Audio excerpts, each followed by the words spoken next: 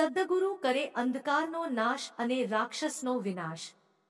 જાણ્યું છતાં અજાણ્યું સદ્દગુરુ પાસે સાધના કરવાથી બે કાર્ય થાય છે. એક આંતર જગતનો અંધકાર જાય અને બાહ્ય જગત પ્રત્યેની અજ્ઞાન દશાનું નિવારણ થાય. બાળકનો હાથ પકડીને એના પિતા કે માતા રસ્તા પર આગળ લઈ જાય છે. પુત્ર પિતાનો હાથ પકડીને એનો પુત્ર એને આગળ ચાલવામાં મદદ કરે છે. ઘરના થયેલા માલિકનો હાથ પકડીને એનો સેવક આગળ લઈ જતો હોય છે. પણ અહીં માર્ગ સામે દેખાતો હોય છે અને તેથી હાથ પકડીને કોઈને લઈ જવા આસાન હોય છે. પરંતુ અધ્યાત્મનું જગત તો સાવ અજ્ઞાત છે.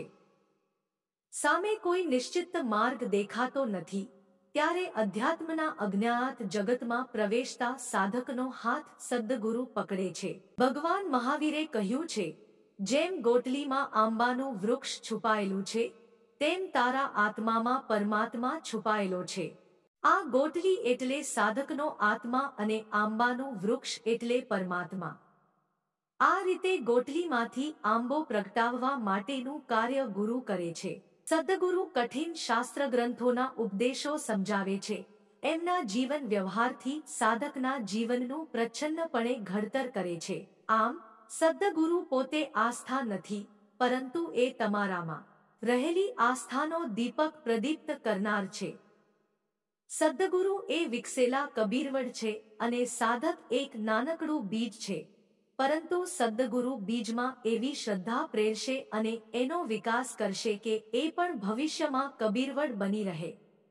સદ્ગુરુ એક એવા સાગર છે કે જે તમને દર્શાવશે કે તમારા જીવનમાં શુભ ભાવની સરિતાઓ વહેતી કરો. તો તમે પણ સાગર બની શકશો, કીડા જરા સા ઓર પથ્થર में ઘર કરે, ઇન્સાન ક્યો ન દિલે દિલબર में ઘર કરે. સાવ નાનકડો કીડો સતત અને સખત મહેનત કરીને કારમેન્ડ પથ્થરમાં દર બનાવી શકે છે. તો માનવી શા માટે ઈશ્વરના હૃદયમાં વાસ કરી શકે નહીં? સાધકને એની ભીતરની શક્તિની ઓળખ ગુરુ આપે છે એટલે કે ગુરુ એની શ્રદ્ધાને સંકોરે છે અને પછી શિષ્ય સાધનાના માર્ગે પ્રયાણ કરીને ઈશ્વરમાં શ્રદ્ધા મૂકે છે.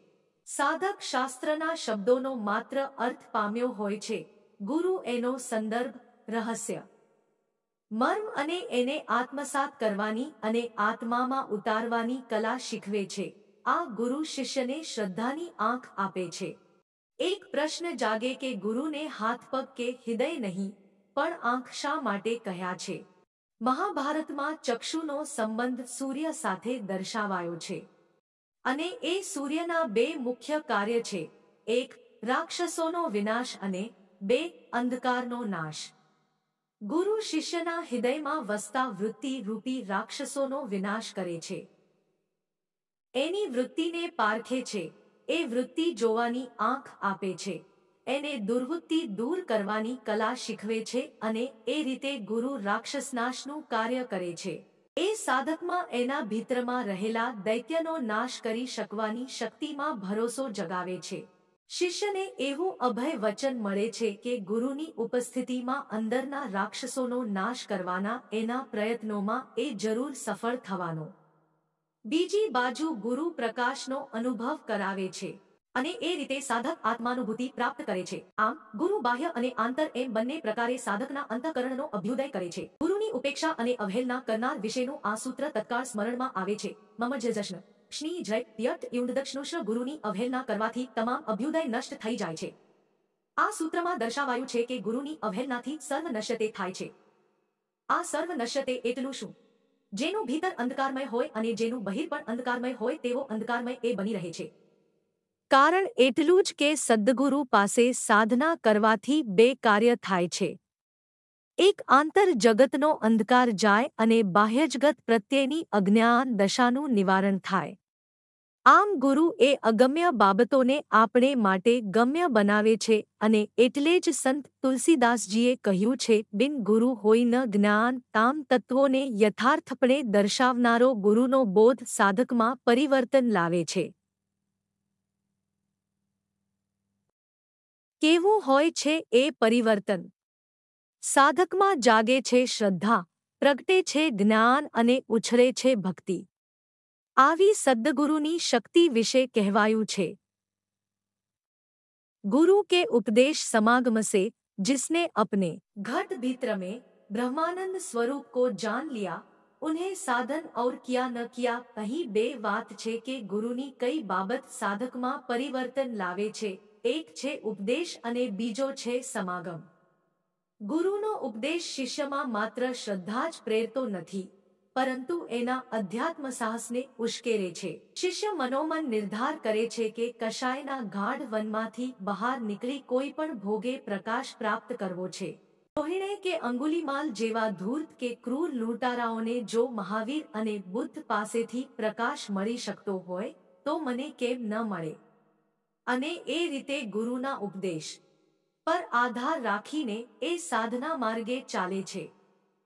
સાને ગુરુજીએ કહ્યું છે કે ગુરુ કશું નવું આપતા નથી, પણ જે બીજરૂપે રહેલું છે, તેને વિકસિત કરવામાં સહાયક બને છે.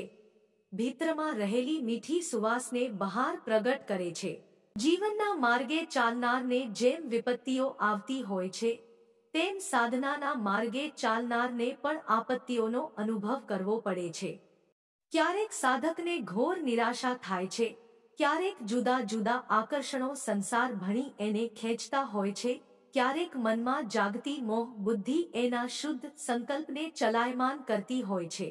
આવે સમય સાધના પથ પર દ્રઢપણે ટકી રહેવાનો સંકલ્પ આપનાર ગુરુ છે. શિષ્યને વખતો વખત પોઝિટિવ ઇન્સ્પિરેશનની જરૂર પડે છે, ત્યારે ગુરુ એને પ્રેરતા રહે છે. ક્યારેક એની આંગળી પકડે છે, કોઈ વાર એનો હાથ થામે છે ક્વચિત લાલ આંખ બતાવે છે, તો વળી ક્યારેક શાબાશી આપતા પીઠ થપથપાવે છે. અંતે તો એમનો આશય સાધકના હૃદયમાં સંજોગો કે વિમાસણને કારણે સહેજ ઝાંખા થતા અધ્યાત્મના દીપકને પ્રજ્વલિત કરવાનો છે. ગુરુ વિશે અહીં બીજી બાબત કહી છે ગુરુ સમાગમની. ગુરુની ઉપસ્થિતિ જ ઉર્જાયુક્ત વાતાવરણનું નિર્માણ કરે છે. ઘણીવાર એમની હાજરીમાં જ સંશયો હેદાઈ જાય છે. મૌન એ જ એમનો ઉત્તર બની જાય છે. રમણ મહર્ષિ પાસે પ્રશ્ન લઈને આવનારી વ્યક્તિને એનો ઉત્તર એમના મૌનમાંથી મળી રહેતો. શ્રીમદ રાજચંદ્રજીને સવાલ પૂછવા આવનાર મુમુક્ષુને એમના સત્સંગની વાણીમાંથી જ પોતાના સંશયનો ઉત્તર મળી રહેતો. આમ, ગુરુના સમાગમથી એક આધ્યાત્મિક વાતાવરણ રચાય છે. એમની આત્મદશાના પ્રભાવનો આંતરસ્પર્શ થાય અને એમના ઉપદેશ વચનોને લીધે ચૈતન્ય જાગૃતિ સધાય છે અને તેથી જ સંત કબીરજીએ કહ્યું છે યહ તન વિશ કી બેલરી, ગુરુ અમૃત કી ખાન, સીસ દિએ જો ગુરુ મિલે તો ભી સસ્તા જાન. સદ્દગુરુ કે ગુરુતત્વના મહિમાનું ચિંતન થાય પછી સાંપ્રત સમયની પરિસ્થિતિનો વિચાર કરવો જોઈએ. ભૂતકાળનું મહિમાગાન વર્તમાનનો માપદંડ બને નહીં. વર્તમાન પરિસ્થિતિ જોતા કેટલીક બાબતો ચિંતન માગે તેવી અને ચિંતા ઉપજાવે તેવી છે. એ આઘાત ઉપજાવનારી અથવા તો અત્યંત ચોંકાવનારી વાત અને વિગત હવે પછી જોઈશું. જો મિત્રો આ સ્ટોરી પસંદ આવી હોય તો લાઈક, શેર, સબસ્ક્રાઇબ કરવાનું ભૂલતા ના. જય માતાજી.